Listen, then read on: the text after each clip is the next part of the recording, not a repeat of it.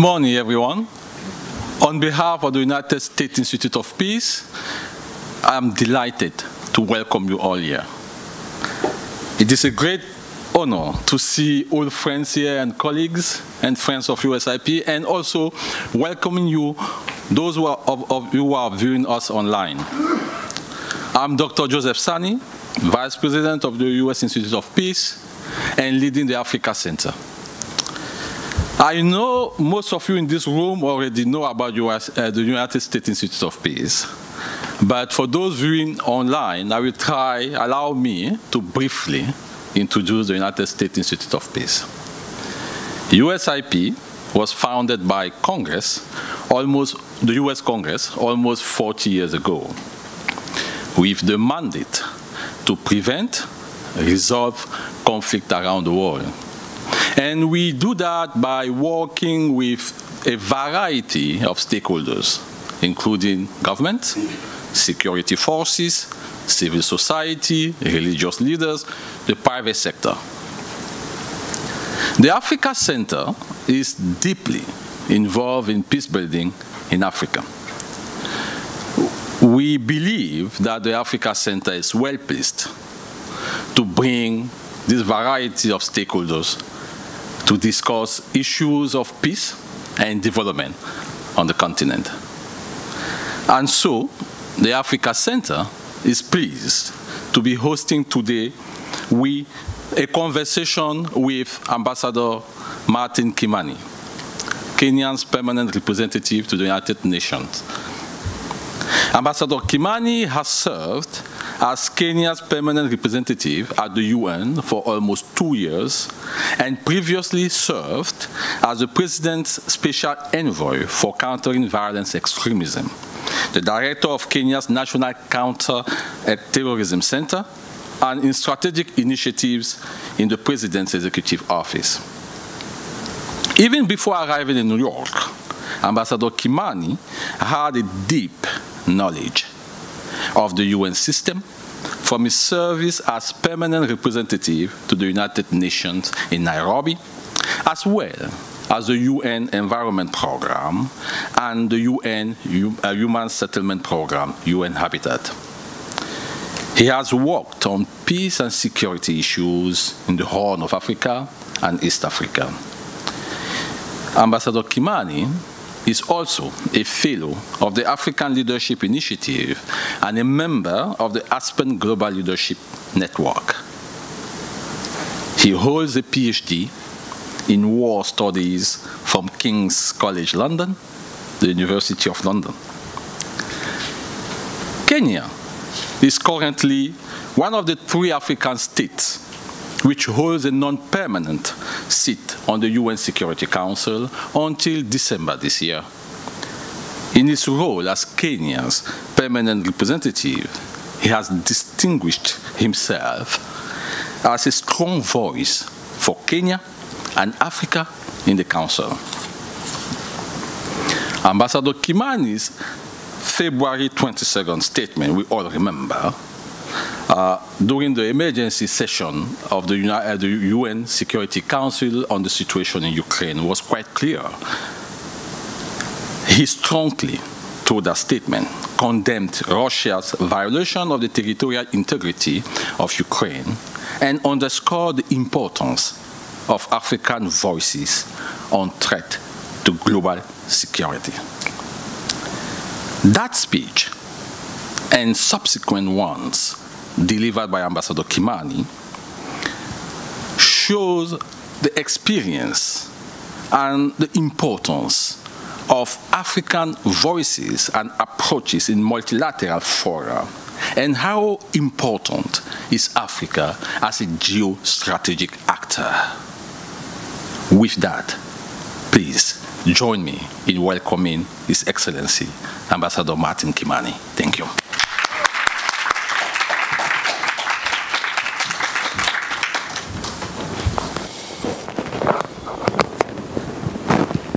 Good morning, everyone, and welcome. I'm Makila James, a senior advisor here at the U.S. Institute of Peace Africa Center, and it is my distinct honor and pleasure to be moderating this conversation with Ambassador Kimani.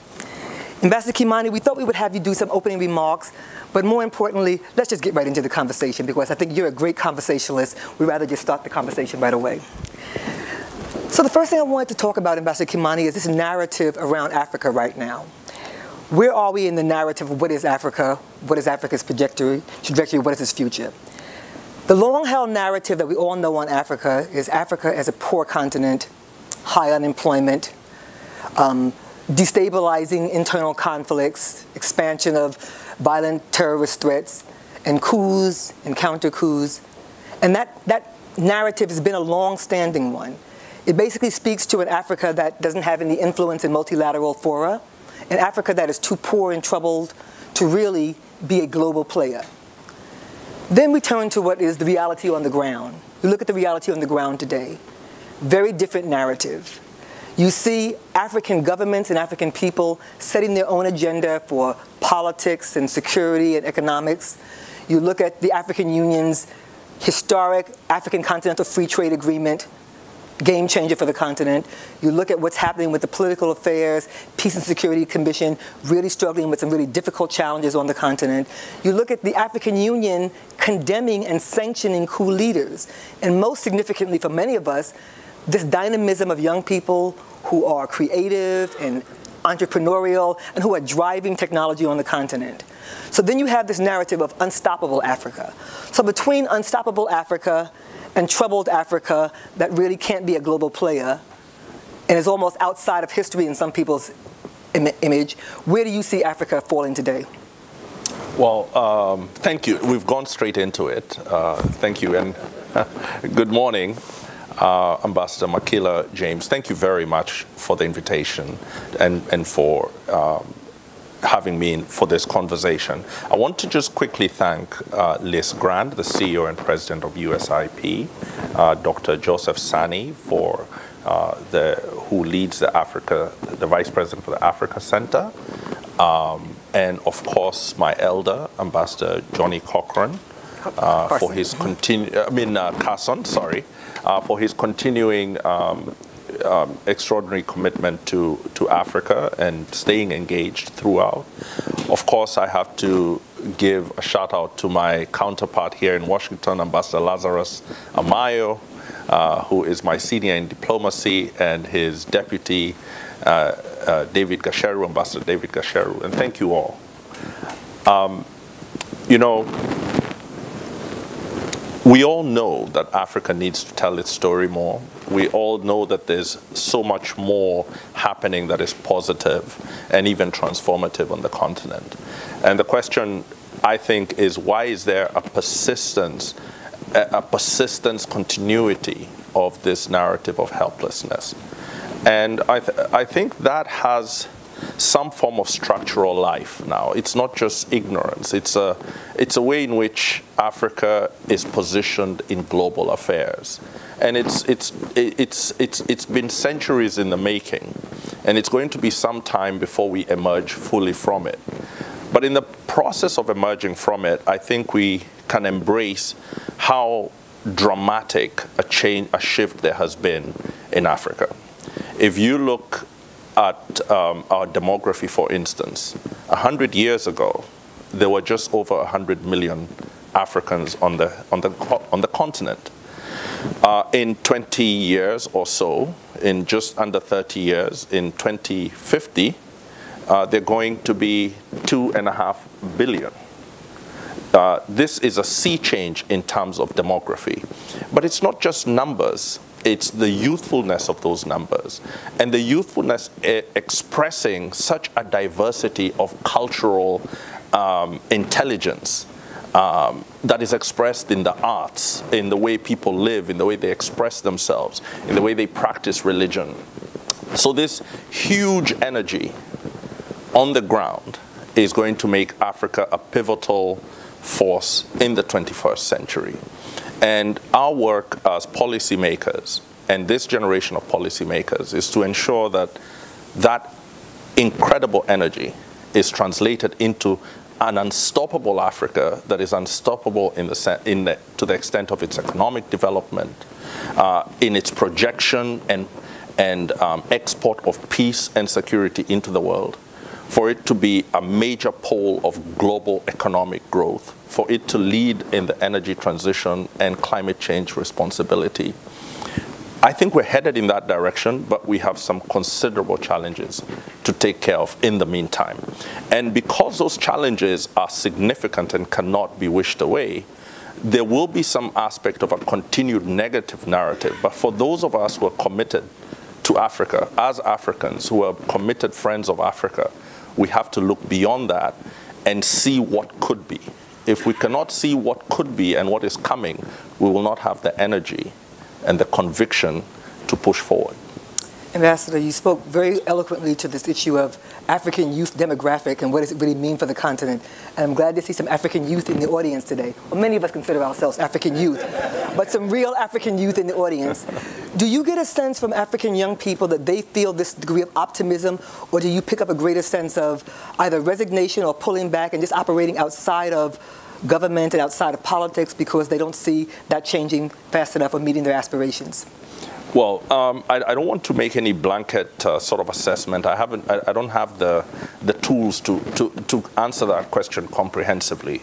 But I do know there is impatience. There is impatience. There's impatience with economic models that do not are not inclusive enough. There's impatience because young people have, broadly speaking, um, um, carried out their end of the deal. And the deal, as I was growing up, was go to school, finish school, and we will have opportunity waiting for you. Well, in Kenya and in other countries, our young people have done that. They've gone to school, they've gotten educated, they've gotten skills, they have ambition and they want to work. Now they're looking to us to say, okay, I did my part. And I think our last election, which I think was a, was a great victory for Kenyan democracy, uh, demonstrated that our political leadership is listening, and President Ruto was actually elected on the platform of listening to those young people who were saying this model of trickle down economics is not working for us. And I was very interested the other day, a few days ago, when I saw President Biden tweet that the, the trickle down model uh, has failed for the last 50 years, uh, which then means that President Biden and President Ruto uh, are solidly in the same camp in terms of an economics that is speaking to the people at the bottom and is built from the bottom upwards rather than from the top downwards. If we can do that, and that is something that each country needs to do but cannot do it alone, um, then we shall begin to address the impatience of young Africans. Well, since you brought President Biden to the conversation, let's have a conversation about the Biden administration's views on Africa. Um, the administration seems to have been embracing recently um, the, the counter narrative. The 2022 Africa strategy, the U.S. Africa strategy, seeks to, as they say, reframe the region's importance to U.S. national security interests. And Secretary um, Blinken traveled to Nigeria last year, and he, he was quoted as saying, Africa will shape the future not just the future of African people, but of the world. And then he traveled further to Pretoria, and he said sub-Saharan Africa is a major geopolitical force, one that shaped our past, is shaping our present, and will shape our future. How do you see this reframing of the relationship that the President, the President Biden's administration is putting forward? And do you see that the statements are being matched by real partnership efforts on the ground? Uh, well, you know, I think there's somebody in Washington listening, and there's somebody in Washington reaching out, and it. I think it is appreciated uh, because um, understanding for Washington to understand the immensity of what Africa is in terms of the opportunity for the whole world, including for the United States, is key. But there's something very important to realize, which is you use the word unstoppable Africa. Um, it takes, it's taken me a while to internalize um, what it means to have two and a half billion people, to increase one and a half billion people in 20, the next 20 something years. It means that the velocity of change is such that the strategies the United States employs and any other country need to be deeply responsive to our own African strategies because the, the velocity is beyond any one country's ability to divert, to control, or to in any way uh, manage. What is really required is the strength of partnership, and that's what I saw in the in the in the Biden strat- strategy for Africa. It has an appetite for partnership. It has an appetite for listening, and I think that part about listening is something that the Biden administration has brought, I think, very clearly. And I've, seen Secretary Blinken in his engagements, and my counterpart in Washington, uh, uh, Linda Thomas Greenfield, really internalizing that. Now, the question is what are we Africans going to say? What are we going to put forward as our priorities? Um, how convinced are we that those are the right priorities? So there's a, there's a lot of the challenge on our side of the fence as well, so that the Biden administration can have the credible partners that it needs to build a strong partnership. Thank you for that. Um, can I talk a little bit about um, this global power competition that we, we, we all know is out there? Um, I've heard many African leaders say, we have lots of development partners. We don't want to get caught up in this global power competition. China was a good development partner for Africa in many ways. Um, there's also the sense that there are alternative venues for Africa to organize and to find its aspirations. BRICS is one of them, and there are others. And so this global competition issue, which is sort of in the strategy as well, it's spoken to in the strategy, comes out very clearly. How do you see the U.S. competing better in Africa so that it's not a choice of one development partner or the other, but that, that Africa can have many development partners and the U.S. can be a better competitor in that process. How do you see that developing? Uh, well, I think we need to get out of the frame of uh, competition because competition inevitably leads to competitive feeling, and competitive feeling inevitably leads to rivalry, and rivalry inevitably leads to conflict. And I think Africa has experienced rivalry by superpowers. What was called a Cold War in Washington was experienced as a series of hot wars in Africa. We do not want that. We do not want to be forced into taking sides. We've taken our own side, and that side is a side seeking development, peace, and security. So we will work with the partners who help us achieve what our side needs. Now, what, why it's so important to get out of the framing of competition is because so much of enmity depends on you creating your own enemy. And where the, when I watch the engagements in the UN Security Council, it becomes clear that there is emerging not just competition, but rivalry. And that that rivalry sometimes will seek to engage other countries as proxies to express itself, especially when one's rival is nuclear armed. So I think Africa's position has been no thanks. We have too much on our plate to get caught in major power rivalries. Now, saying that and doing it is two different things. And I think, Makila, if I was to say, to talk about the African Union peace and security architecture, it assumes in some implicit way that its internal focus on settling crises in Africa, repudiating coups d'etats, uh, mediating peace, it assumes that the global environment is stable. I believe in the coming years, Africa will need to add a plank to its external engagements, to its external strategic conversations, where Africa will need to insist on a stable global order. Africa will need to see that it has equities in the European security order, because when the broken European security order is leading directly to suffering in Africa, it's leading to the growth of potential conflicts that could affect Africa. So it is for Africa to tell Europe, not in a negative way, your security order is broken, you need to fix it. Now that shouldn't be hard for them to take because they tell us that all the time. so I think we need to make this point, and I think we need to make it in a positive way, and we need to offer ourselves. I have come to understand that Africans are very talented listeners, and in mediation. And when I saw Chairman Moussa Faki and the President of Senegal, the chairperson of our, of, of our union, fly to Moscow, I think they should continue. They should continue engaging because we have a stake in a stable global order. We have a stake in a rules-based multilateral system. I, want to come to that issue, um, but before we get there, I want to just go back a little bit more and talk about the U.S. African diaspora, because clearly they have a role to play. Do you see the U.S. diaspora being um, one of the competitive edges that we have in dealing with African governments, dealing with African issues? I actually think that was the most uh, brilliant part of the Biden Africa strategy.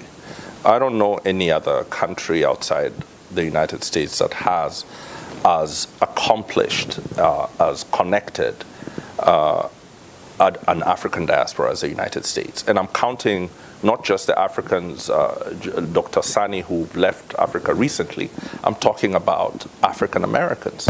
And uh, the fact that this diaspora um, has all the skills, has the capital, uh, and has the desire to connect with Africa. Uh, and I, I, think the strategy leveraging that um, and the actions it takes to leverage that will place the United States in a very strong position to add value to itself and, and to Africa. And one has to say that one notices, I have to say, a lot of our, our Nigerian brothers and sisters in the, in the Biden administration. And, and I think how much more powerful can, can, can your policy making be than to have a deep, familiar understanding of Africa while you're an American official. I, I, think that is going to pay a great deal of dividends.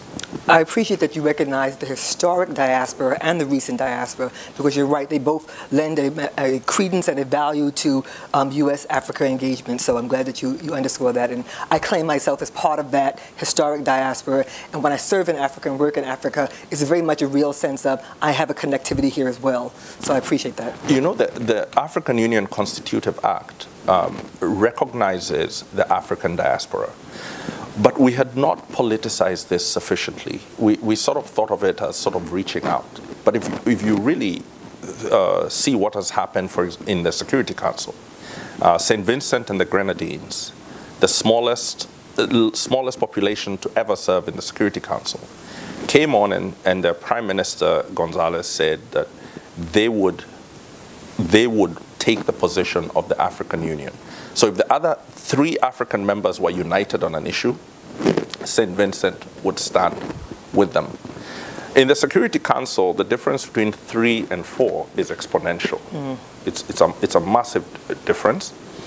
And what that meant is that the A3 plus one showed in real time in the, in the most august diplomatic body in terms of peace and security what Africa and its diaspora can do at a geopolitical level. Mm -hmm. Now, there's a growing appetite between CARICOM and Africa mm -hmm. to work together. There's a new candidacy coming up uh, by Guyana in June. I would imagine they'll get every single African vote. Uh, uh, uh and I think that they will come onto the council and they themselves may choose to also be part of an A3 plus one. I think it is a significant development. Ambassador Kimani, you're anticipating all of my areas of inquiry because I'm going right where you're going now. Let's talk about multilateralism in, in Africa.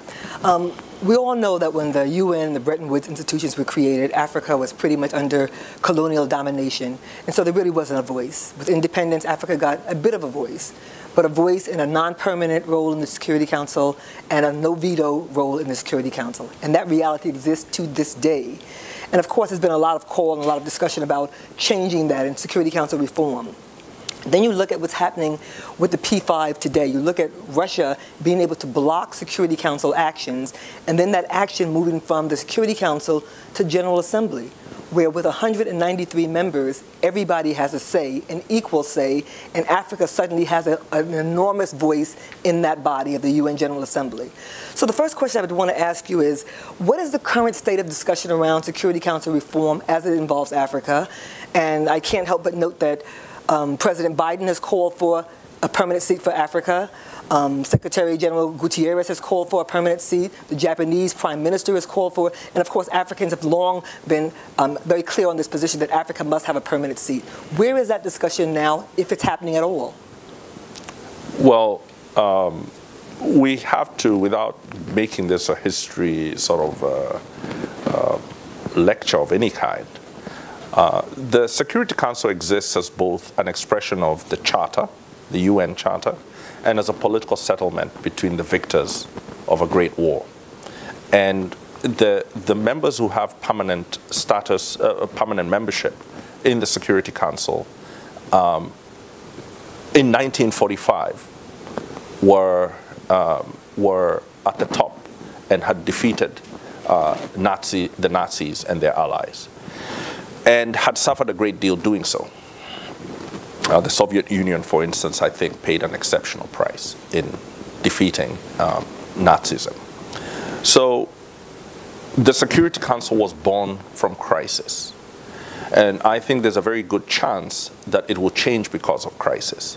And the question is, the crises that we are in now and the crises that we have gone through, are they sufficient? I would like to think, yes, they are. Uh, and that the, the permanent five will find it in their interest to expand the body because it needs more balance. Let me give you an example of what I mean by that. The two years or so that we've been in the Security Council have convinced me that whoever made non-permanent membership two, two years was very clever. Uh, uh they were very clever in seeking to limit the, the, the leverage and the, and, the, and the influence of the elected members. Because just as you understand it, it's time to go. so, uh, one of the reasons Africa needs to sit on the council with a permanent seat is because of continuity of effort. Africa has a lot to protect. Africa may not be part of great power war. We wouldn't be in the council so as to prevent us fighting someone else. Right now, the P5, it's designed that way to supposedly stop the Third World War between the great powers. But Africa would be there to protect itself and others who have a weaker voice in global governance. It means that to have sovereignty over our natural resources, to have the ability to resist uh, being utilized as proxies, to have hostile and malign actors uh, turning against us against one another, uh, in search of our natural and human resources, we need to sit there every single day and understand what is going on every single day with the same institutional memory and political leverage as the most powerful. Makila, we've moved now, I think, from the age of noblesse oblige, you know, the, what is the responsibility of the most powerful, to an age where we understand that that is not sufficient. We need inclusion because we need to be in the room to protect our interests. And our ability to protect our interests as Africa is actually of benefit to global peace and security. And I think the argument has been made. I think it needs to be made more strongly. And I, for one, and I think all my African colleagues in New York very much appreciated President Biden's uh, announcement and uh, Minister Lavrov's repost to that announcement by also saying that the Russian Federation is open to that membership. Everyone says they're open to that membership. Mm. Everyone supports Africa, but somehow it doesn't. Uh, mm. It hasn't yet happened. Mm. So I think we're going to need to push further, and I hope it's not going to take a more profound crisis for that to happen. When I worked in the State Department, one of the jobs I had was serving in the office that covers Africa in the Security Council. And I thought, oh, it'll be once a week, I'll have something to do. Every day, Africa's in the Security Council every day on some matter or the other. So I absolutely agree that that permanency would respect the, the, the demand of the work and the demand of the issues that are, that are attended to there. Can I ask you, though, about the Security Council? In, in fact, sorry, Makila, the, the, more, the, the reforms that would change the world the most are reforms within Africa itself. If the Peace and Security Council and the African Union Commission and the regional organizations continue in the trend that they're in now, I think the UN Security Council will become a very sleepy place because the conflicts will be solved in Africa, and right there, 60% or 70% of what the Security Council does will be taken off the table. They'll meet once a week. um, can we talk a little bit about what's happening, this new dynamic we see where things that aren't be, being addressed in the Security Council are moving to the General Assembly. I think the Ukraine crisis has been the most recent example, but there may be others. Can you tell me um, what is happening with this notion that maybe when there's a veto in the Security Council, the General Assembly is going to take it up? Um, I've seen I've seen indication that that's where things are going. Is that really the new reality? Yes, uh, you're describing the veto initiative, which is uh, Resolution 262. Uh, it's a resolution that passed a few uh, months ago, and Kenya was one of the countries that championed uh, that resolution. And what it what, what it, it, it basically says that when there's a veto in by when there's a negative vote, a no vote, which is a veto by a permanent member, then the president of the General Assembly within 10 days will schedule a debate of the General Assembly. And, and, and that has happened several times. And what that does is that it gives the membership a chance to speak to the veto. And it raises um, uh, the difficulty of using the veto because after you use it, you have to come to, to, to, the, to the General Assembly. Now, 262 is right at the beginning of its application. I think it's going to, over time, become a very powerful vehicle for the General Assembly because the General Assembly never gave away all its powers to engage on peace and security issues. It retained that ability. Mm-hmm. But the Security Council has been mandated to lead in that direction. But if the Security Council is unable to deliver on its mandate, then the General Assembly, over time, may begin to assert itself in ways that I cannot anticipate right now. So that resolution, which was uh, um, uh, drafted and pushed initially by Liechtenstein, I think is going to be a historic reform to the United Nations. Well, if you're in a venue where numbers is the game, it's definitely going to be a historic change for Africa, which has a large number in the General Assembly. So we will stay tuned and keep an eye on that. You can imagine, for instance, the General Assembly sending back, um, voting to send a resolution and sending uh, uh, the sec- back a resolution back to the Security Council and saying, we think that uh, whatever you did with this resolution was not effective. Please relook at it uh, that sets up for some a degree of legal, legal complications. Absolutely, it does. Uh, but then it really shines a torch on, on the veto. The veto is a is a critical is an is a is an important tool, um, but it has become a tool that is rather than pursuing the responsibility that members of the P5 has has become an expression of their of their national interest far too much so. Mm-hmm. Mm-hmm. You mentioned another interesting dynamic that's happening. This has been a long-standing process, but but coming to the fore now, and that's the A3, the three members of the African, um, three African states on the Security Council, and working with the Caribbean and Latin America. You mentioned um, St. Vincent and the Grenadines. I'm also interested in Haiti because Haiti has, of course, been in the Council in discussions, and what's happening in Haiti with the security crisis is of great concern to so many. How is Africa coordinating in the Security Council with um, other regions, particularly to address questions like uh, peace and security in Haiti? Uh, thank you. I, you know, Kenya, uh, when we got on the council, one of the things we wanted to do was to reach out a, on a global level with a conviction that African lives, wherever they are, matter to Kenya, uh, and that the African diaspora uh, must be part of Kenya's attention.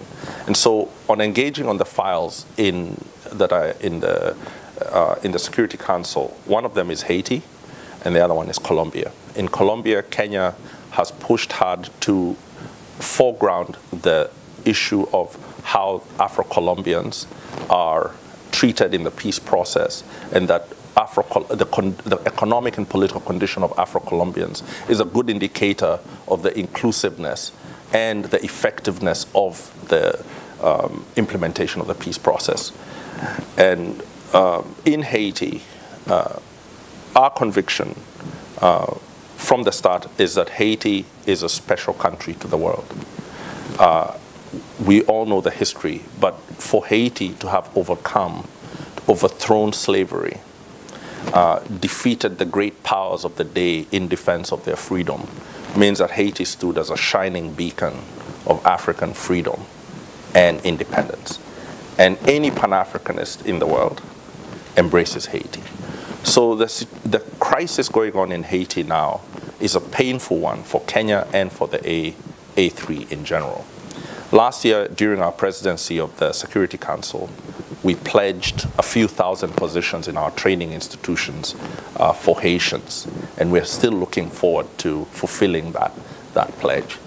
Now, this situation is um,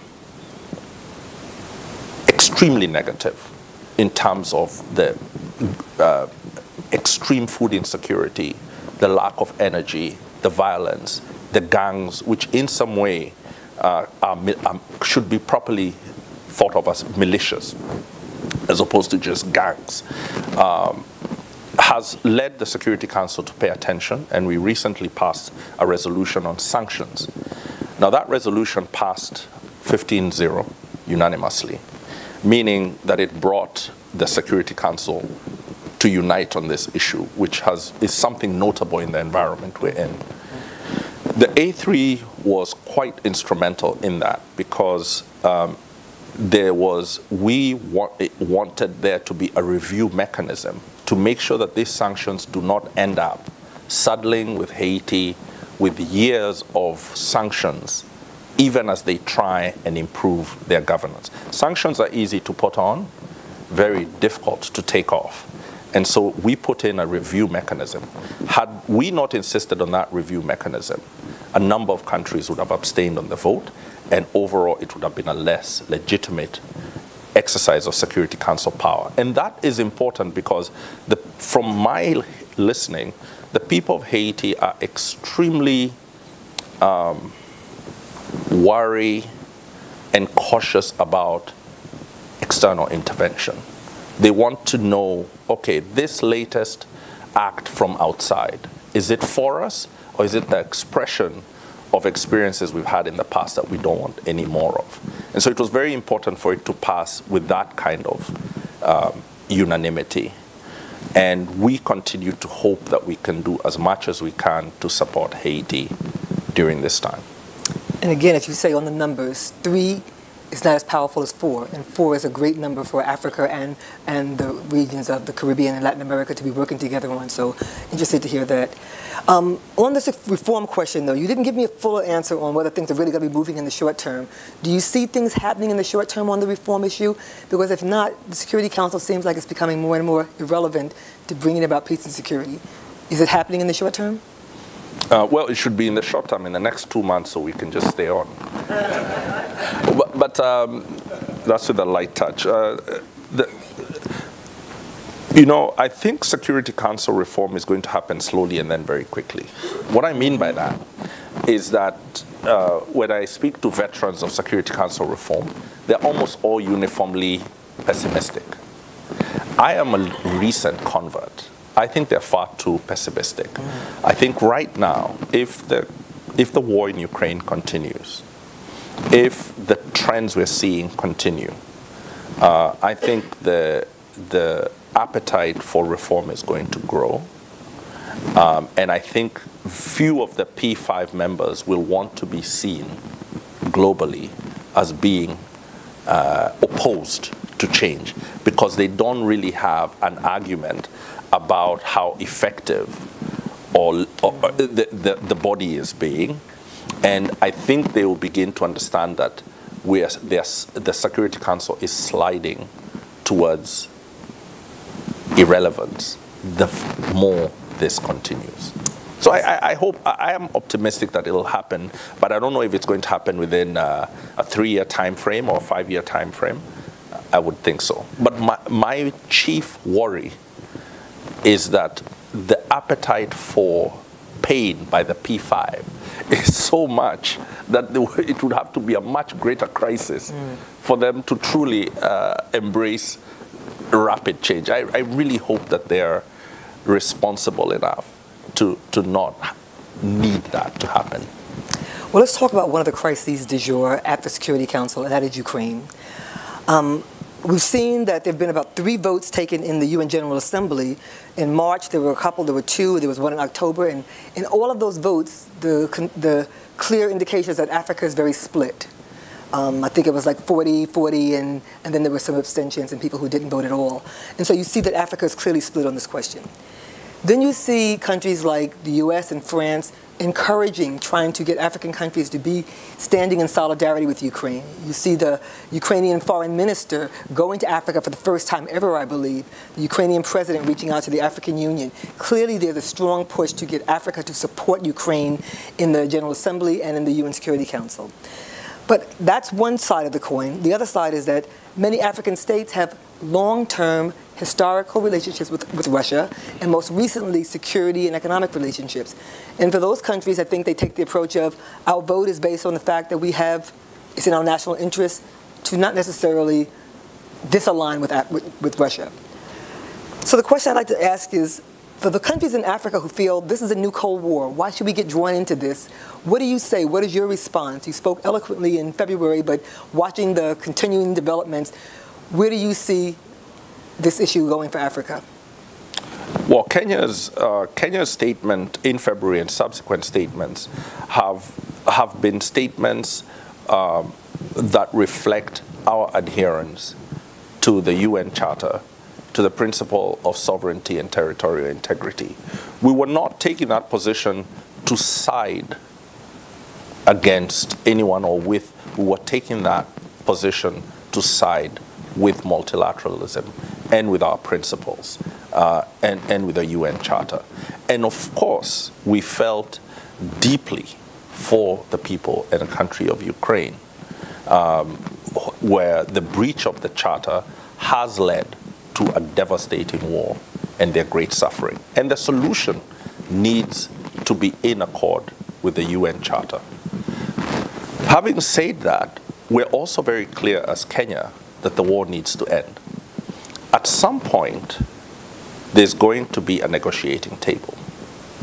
Whether now or later, whether immediately or after many more die and much more destruction is created. There is going to be that negotiating table. And the question is what is going to be discussed at that negotiating table? The war in Ukraine will be addressed. The broader ramifications and causes of that war will have to be addressed. And the European security order will have to be reset and stabilized with a series of guarantees and agreements. This is very clear. The continuation of the war is endangering us in terms of its escalation, including the use of weapons of mass destruction, continuing economic turmoil that is affecting the whole world, uh, and most importantly, the continuing gross suffering of Ukrainian people. So I think the African countries, and I don't want to speak for Africa on this one because I think each African state has assessed the situation from its own perspective. And everybody I know, every diplomat I know, when they explain what they're doing, they start by asking, what do our people need right now? You see, once, once a political leader asks that, uh, you know, uh, their answer now, you can only try and, you know, massage their answer because they've put where they stand. So, there are those like Kenya that have made a position for the UN Charter. There are those who have abstained, and there are those who have opposed the condemnation of the invasion. And in all of those are informed by their interests. But the one common interest that all of us have is in the end of this war. There is no military solution. There really isn't. And um, I think that is slowly going to be understood more and the African position on that is, needs to be clarified. On in terms of the pressures by different major powers on African voting, I have to say that I am pleased by um, that African countries have been given their space to make up their mind.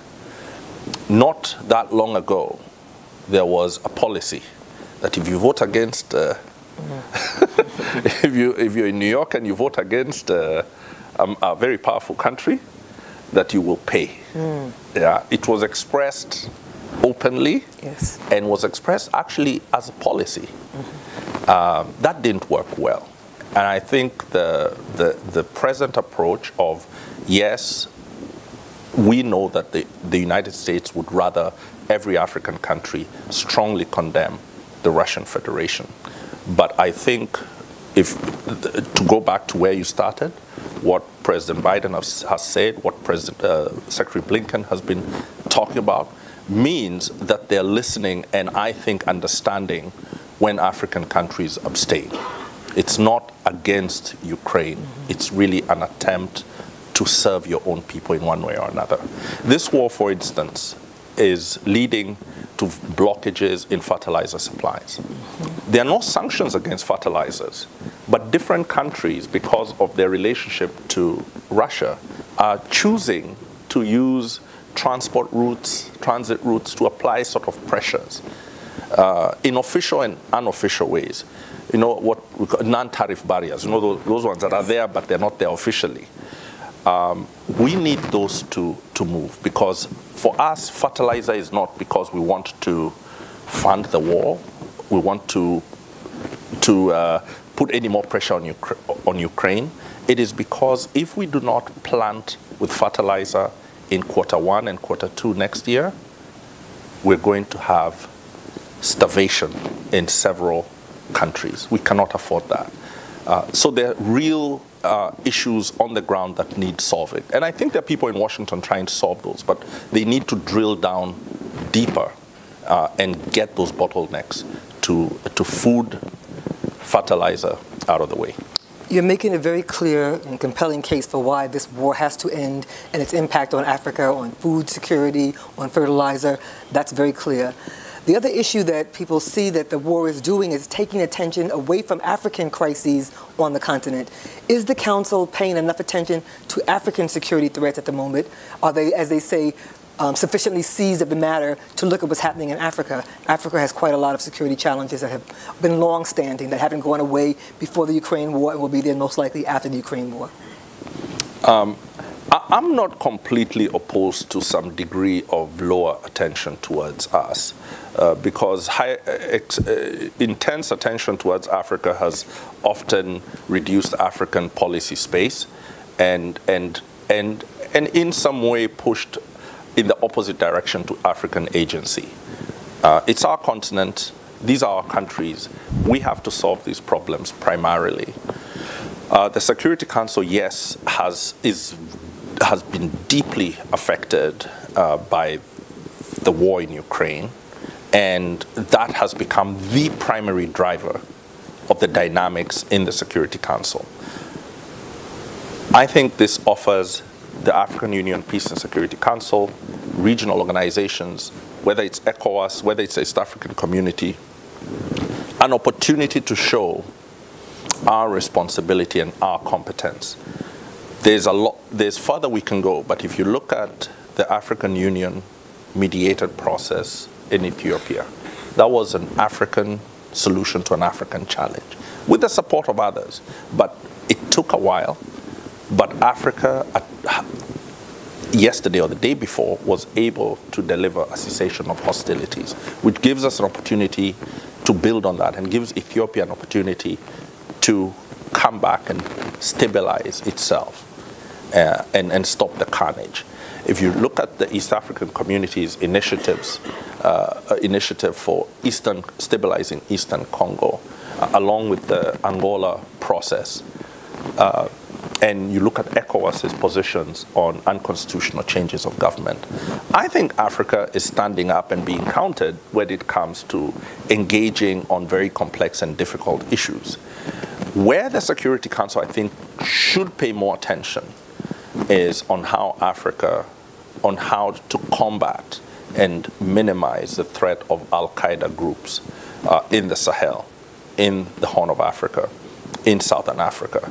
That is a matter of high priority, not just in terms of the military aspect of it, but the economic and political package that needs to accompany that. And I would note that this month Ghana has the presidency, and I understand that Ghana is actually put on the agenda that very topic of looking at violent extremist groups and looking at peace and security broadly in Africa. So it will get its attention this month at least. So I'm glad to hear that that's going to be happening. Um, can I turn in the last few minutes that I have because I'm eager to give you over to this audience. Um, I want to talk a little bit about the U.S.-Africa relationship and the U.S.-Africa summit that's coming up in December. It's been announced by the Biden administration. There's great expectation. There are high hopes. The strategy is out now. We've talked about the strategy. Um, tell me what you think would be some of the most meaningful outcomes of the summit. Um, how can the administration deliver on the promises of the strategy? What do you see about that around in that whole constellation of this is Africa's moment right now in Washington? Well, many African countries are going uh, are trying to navigate very very challenging times. Um, there's squeezed fiscal space, uh, the flow of investments uh, globally in emerging markets, not just in Africa, is reversing itself, and uh, investors are looking for safety because of the volatility of the global environment. Uh, uh, the raising of U.S. interest rates, the raising of interest rates in the major economies, all means that there's more money leaving emerging markets, heading back to developed markets. Uh, the extreme weather patterns, whether it's uh, the Horn of Africa suffering its greatest drought in 40 years, to biblical mm. floods mm. all over the world, uh, means that um, it is increasingly difficult to drive development. Now you're trying to ensure survival, recovery, rebuilding, not even uh, development, growth. So in a country like Kenya, we have to simultaneously uh, deliver on food security while we're delivering on getting Google to set up offices in the same country. Mm-hmm. We have to do two things at the same time, or actually several things. So I think the meeting in December, whatever its normative conversation, I'm sure we will talk about democracy. I am sure we will talk about human rights and, and, and rule of law. These are critical.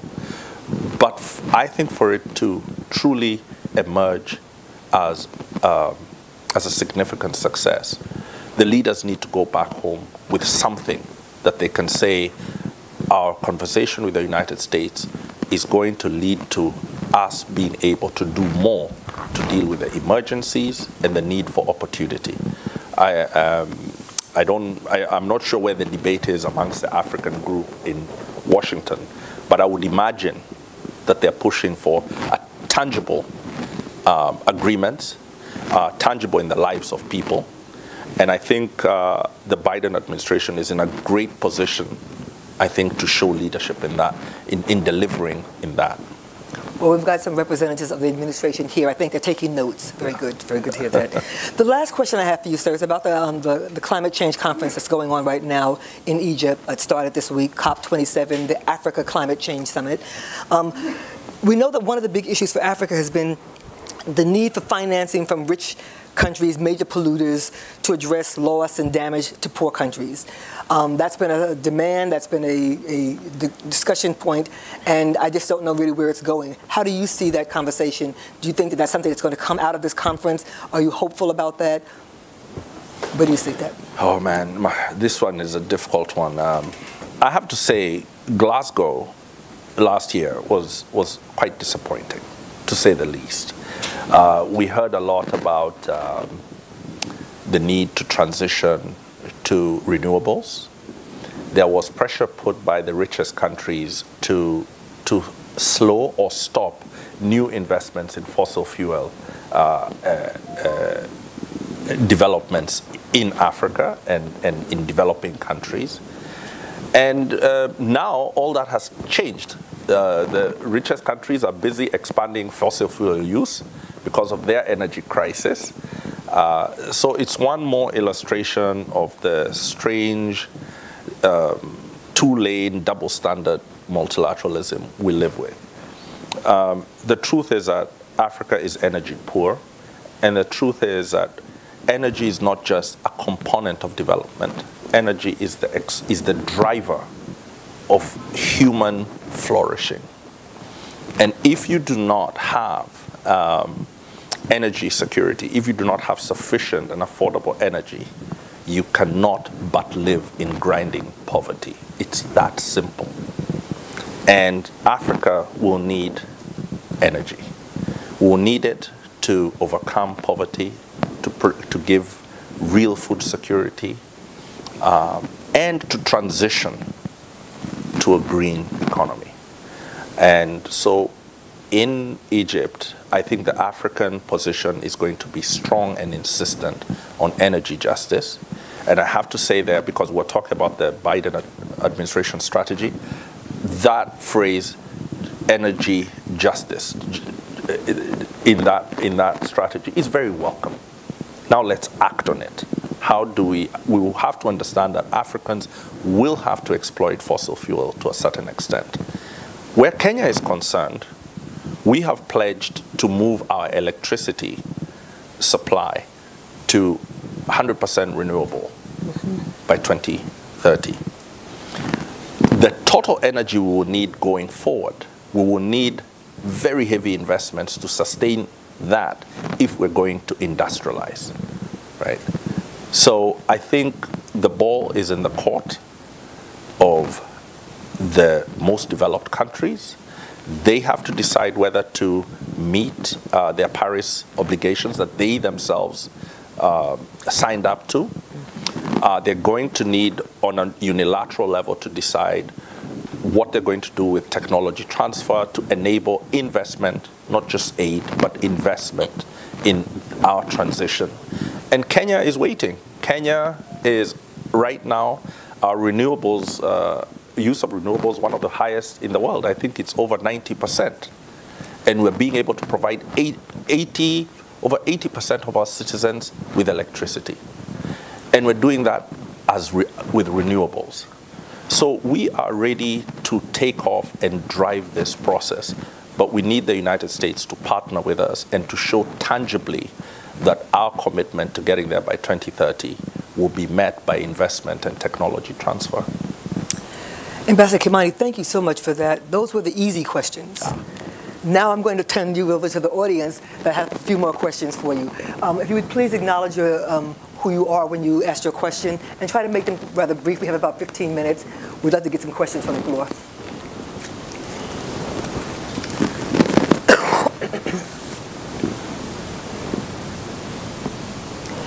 I can't believe you've answered all the questions.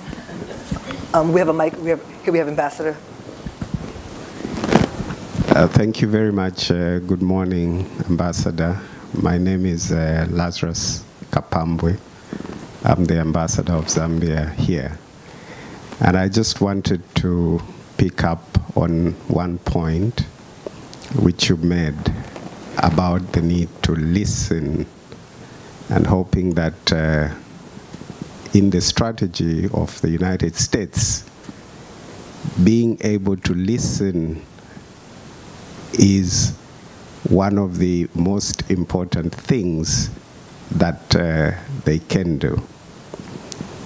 And it reminds me of what we say in my country, especially when you talk about Security Council reform.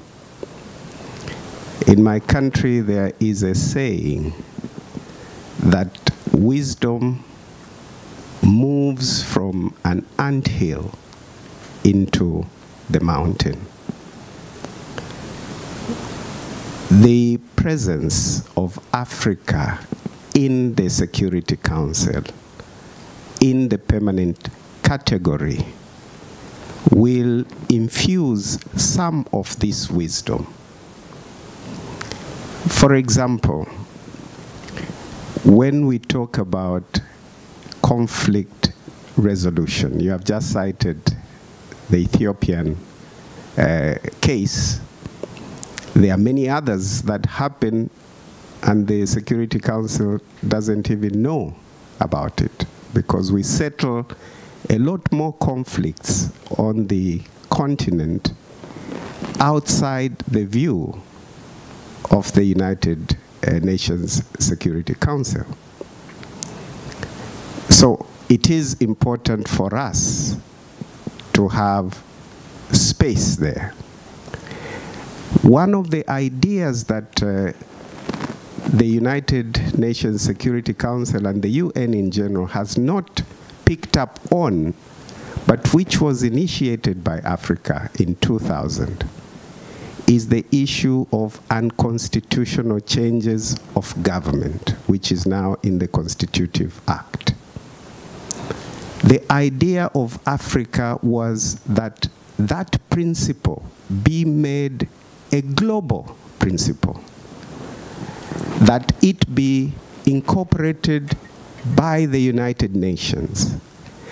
And if it had, many of the conflicts, uh, many of the coup d'etats that we are talking about around the world would not be permitted by the United Nations. And that would act as a sufficient deterrent. When in 2000 this principle was incorporated by the African Union, we saw a big drop, in fact, to zero unconstitutional changes of government in Africa. But when the United Nations resisted, up to now the big powers have not come out in support of that principle.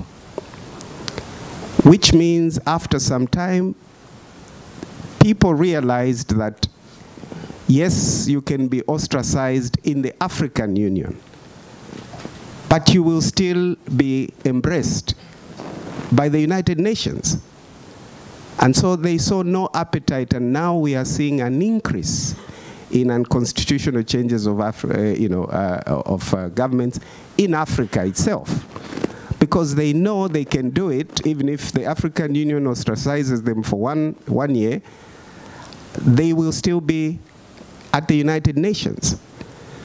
And the major resistors of incorporating that principle are the members of the P5. I do hope that the United States can come out strongly in support of incorporating that principle within the United Nations because once that is done, it will be a sufficient deterrent to unconstitutional changes of government across not only Africa, but across uh, the world. Thank you. Ambassador, do you care to respond? Yeah, sure. Uh, thank you, uh, Ambassador Kapambwe, and uh, you're the namesake of my uh, colleague uh, Lazarus. and, and congratulations on Zambia's election and its very dynamic government. and it's, I think, speaks for all of us in the pursuit of development and investment. Um, on uh, wisdom moves from an anthill into a mountain. You know, uh, this say you say makes me br brings to to the fore of my mind um, that Africa's practices of mediation and peace building are actually forms of very powerful cultural technology. And uh, since we're in the building for peace, I think there's so much to be researched on practices of peace in Africa because I think they're unique. The role of peers, um, the, the power of ostracism. Um, in, in many of our cultures, being banished is possibly the worst thing. It's a form of social death uh, and cultural death. So when the African Union says you cannot sit with us, it is a far more painful thing than many people realize. Uh, we're sitting here, you have to stay outside. Uh, and even if you can come to New York, you still will feel it. Um, but you're right, Ambassador Kapambwe, that the Constitutive Act's ambition is not just within Africa, but I think that has been forgotten more than it should. For Kenya, in the Security Council, we condemned the coup d'etat, the unconstitutional change of government in Myanmar on the basis of our Constitutive Act. Our reasoning was if this is a standard we hold for ourselves, well, then we hold it for you too, right? We, I can't help it. Um, if I'm at the center of my own universe, then the way I live, I want to see, not, not to impose, but it sets my expectations. Um, I do think that unconstitutional changes of government can be threats to international peace and security. What is happening now is potentially ri risky. One is that Africa creates a strong position against an unconstitutional change of government. Then that is brought to the Security Council, and the Security Council is asked to condemn the unconstitutional change of government. Now, the A3 need to navigate this very carefully because you do not want the Security Council to have different principles for Africans and for non-Africans. Mm. We cannot be party to our own creation of double standards. So the A3 and Africa needs to either push for this to be a norm of the United Nations for everybody, or our actions stop in the African Union. It's very, there's a difference because what the Security Council would do is willingly um, create an instrument for Africa and not for others. And then in the politics of the Security Council, that instrument will not always be used in the defense of African constitutionalism. So we have, in the Security Council, Africans do two things, which is to advance our interests and two, to defend our independence. Uh, now, that is not a sufficient answer. It's only a holding position. The true answer we need to work for is to make unconstitutional changes of government be something that the United Nations rejects. And wherever it happens, uh, uh, it, it, uh, it's condemned and, and action is taken. And we have now learned that it can happen anywhere. There, there are no constitutional institutions or processes that cannot be undermined or destroyed by political actors with the power and the will to do so. Can we try to get another question in before our time runs out, sir? Please identify yourself. Thank you so much, Ambassador Kimani. My name is Francis Boglan from the Ghana Embassy. Uh, I have something to uh, talk about which relates to food insecurity on the continent. Ambassador Kimani, can you share with us your ideas on suggestions as to how Africa can address this issue in a sustainable manner. Uh, if you consider the fact that uh, the continent is a continent that should be feeding itself, and yet we still have issues of food insecurity. This is a very major issue, and what are, are we doing as a continent to be so self-sustaining uh, when it comes to food? Thank you so much. Uh, thank you, Francis. I, am not a, an expert on agricultural uh, issues, uh, and your question is very focused. Let me perhaps expand it just slightly, on, and that is the relationship between the Security Council and the food insecurity.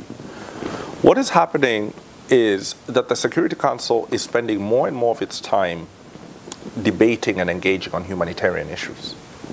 And that's partly a reflection of the fact that it's having a much harder time moving on the political issues. It's much harder to reach political settlements than it is to navigate humanitarian access and, and uh, in terms of food security, especially in situations of conflict. And so this is an opportunity, I think. One is that there seems to be a humanitarian, humanitarian exception within conflict areas. Uh, co determined conflict uh, parties who are fighting each other appear to only be able at this point to appreciate humanitarian engagement as the most legitimate uh, as the only thing they're willing to accept from the outside world. That is what delivered the Black Sea Grain Initiative. The two times when the United Nations has succeeded in the Ukraine conflict in bringing the two sides together was the evacuation of uh, civilians from Mariupol for humanitarian reasons and uh, the Black Sea Grain Initiative.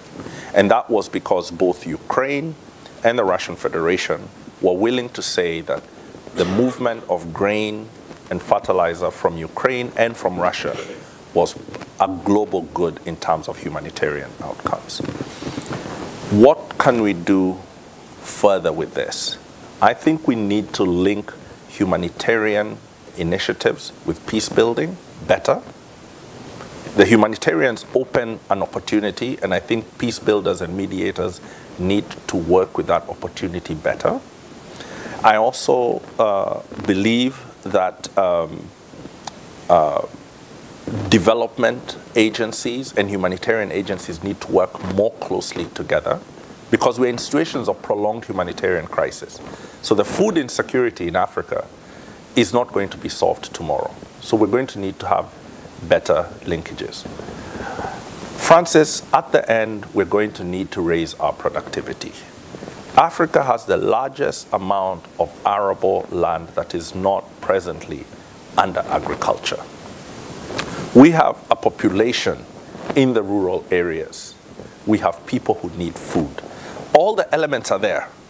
There, you can create offtake agreements for wheat imports and, and invest technologically uh, in, in wheat growing areas in Africa. There are farmers in Africa growing wheat. wheat. From Southern, the whole of Southern Africa is a wheat growing, uh, its wheat growing potential can feed the world.